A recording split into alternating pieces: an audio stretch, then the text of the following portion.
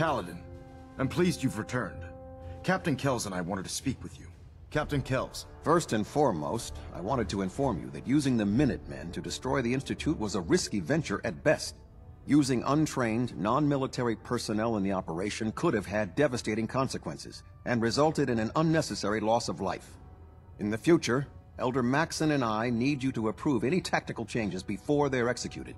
As I expect Elder Maxson has already explained, the destruction of the Institute is simply the first stage of our operations in the Commonwealth. There are still super mutants and ferals to be dealt with, as well as any remaining synths that escaped the blast. It's our hope that you will continue serving with the Brotherhood and assist us with eradicating these threats. Of course, Captain. Very good, Paladin. In light of your service, Captain Kells and I both feel you deserve unique recognition for your contributions, both past and future.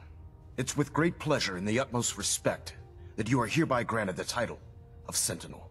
This is the highest honor a Brotherhood soldier can achieve, but we both felt strongly that it was well deserved. In addition, we'd like to present you with this jetpack modification for your power armor.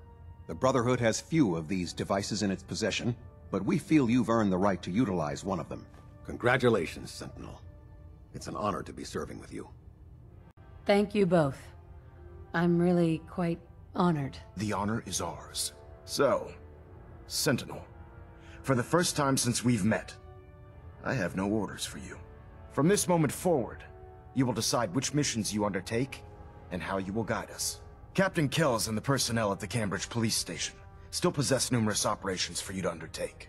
Where you go from here is up to you. Ad Victorium, Sentinel.